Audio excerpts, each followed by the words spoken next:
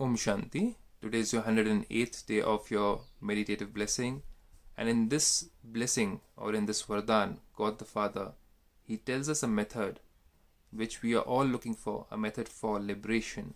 How do we get liberated from our complete attachment from people, from things, and also from different forms of comforts in our life? So these things are the ones which actually pull our mind down, our intellect down. And even if we know that we have to go into liberation at the end of the day, we feel that we don't need to be greedy or don't need to be attached to things and people and different forms of achievements in our life.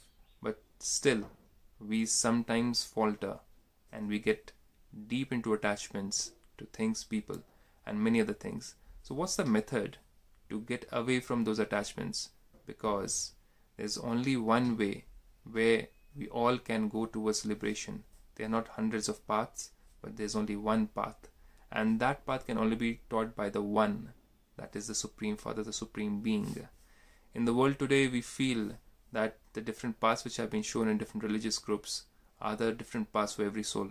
But no, there's only one single path which can only be shown by the Supreme Teacher, the Supreme Guide, and the Supreme Father, who has to come down at the end of Kali Yuga, the time where all the souls are in distress. There is complete sadness, depression, and many more negative things happening around the world, including war. So now we have to understand that the only method is to be in complete love with the God the Father, or otherwise, if we are in love with people and things and different forms of attractions of the senses, then it's going to be very difficult to leave this body when the complete time of judgment comes on this earth, which is coming soon. So let's understand what Baba has to say in today's blessing related to it.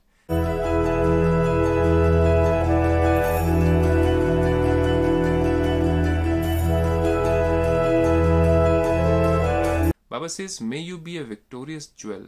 Victory in what? Victory in getting away from attachments from things, people, and many things which you're going to talk about. May you be a victorious jewel who constantly experiences being personally in front of the beloved. Now, the beloved is the Supreme Father, the Supreme Being, the incorporeal one. The complete love for God and His teachings is the only method to go into liberation. Not the teachings which we have learned in the scriptures, they are just the basics, they are just the ABCD or the kindergarten knowledge, but God comes down and gives us the deep knowledge beyond the scriptures, much more deeper than the scriptures which we have read till today. And He gives us a method to get in complete detachment. For that, He first reveals His true identity when He comes down on earth, exactly who He is. Otherwise, we have put so many names, so many forms to Him. We have even thought that all the religious fathers who came on earth to establish their different religions, be it Jesus, be it Gautam Buddha, be it Muhammad ji. Many of us have started believing that these physical, divine, religious fathers are God themselves, and that is the form of understanding which is going on in the world.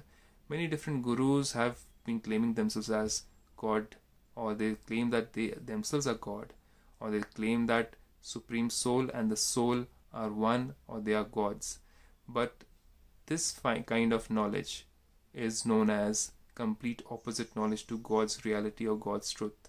So Baba here says you have to be in love with the beloved who is the true form. See, God cannot be somebody who is in a physical body. Any physical being cannot be called as God. And God says, if anybody claims to be God himself, then he is leading you towards your own grave it's going to be very difficult to be liberated in those kind of conditions. And the sins will keep on increasing in your life. And baba says no physical guru on this earth can call himself as the guide for liberation because i the only one who has to come down on earth as has been mentioned in bhagavad gita i have to come down on earth. But i don't take different avatars. I only come once and that is during the end of the complete cycle on earth. So Baba says, May you be a victorious jewel who constantly experiences being personally in front of the beloved by connecting the love of your intellect to him. We might say through our mind that yes, I believe in God, but do I know God? Do I know how to love Him? that is something which can happen through the intellect because knowledge is required which sets itself first in the intellect and then you can love somebody so first i have to have the knowledge of somebody and only then can i love that person it's not just a feeling of love that yes i can love this person or that person without knowing that person but the intellect has to have that knowledge. So baba says a loving intellect means what does it mean? The love of intellect is connected to the one beloved only one. Those who have love for the one cannot link their love to any other person or possession because for going into liberation during these times as you have seen as you're seeing the condition of the world today it is important to have love for one father for the protection for the safety because the beloved will always protect its lovers. So this love is a soul conscious love not the physical love which we think as love whereas it is not a love it is the, just the pleasure of senses of the five senses which we call it as love in the worldly way. God says that is not love that is a sin. Lust is a sin.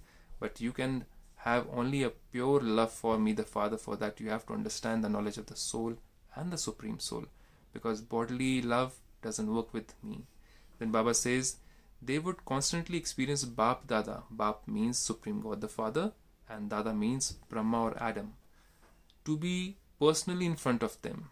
They cannot even have waste or sinful thoughts against Shrimat in their minds. God has given us Shrimat. Shrimat means the highly, the most elevated guidance of what to do, what not to do, what to think, what not to think, what to see, what not to see, what to listen to, what not to listen to, what to have, what to wear. Everything has been given by God so as to lead us to liberation from this world because there's a lot of attraction in this world of the senses and God leads us away from that. For that, we have to have love for Him. So, Baba says they cannot even have wasteful or sinful thoughts against Shrimat in their minds. The words, I eat with you, whatsoever you give me. So, will God, will God ever ask us to kill an animal and eat? No. So, what kind of food will I eat? That's what we have to understand. I sit with you. So will I be sitting in a company which is talking about ill about other people? No, I'll be sitting in company where people are all connected and in love with God the Father. I eat with you, I sit with you, I fulfill all relationships with you. I think as per you, I speak as per you, I listen as per you. Fulfill all relationships with you would always emerge from their lips and in their hearts. You are my father, you are my brother, you are my sister, you are my husband, you're my wife, you're everything to me because I need to get liberated from all my physical relationships which I am bonded by because of my karmas. So God gives us a method to connect all our relationships with Him so that we can be detached from physical relationships. Detached doesn't mean that you stop loving them or you start cursing them or hating them, but you start giving them spiritual love instead of giving them physical love or by buying things or presenting them with things. That is not the love that is just for the comfort of the body, but for the soul. That form of love you spread to all the souls. Then Baba says only those who constantly have loving intellects can become victorious jewels. I have to have love for the Father, otherwise things will pull me. Many things around me can pull me. My senses can get pulled. So I, the soul who's not in control of my senses, cannot go into liberation.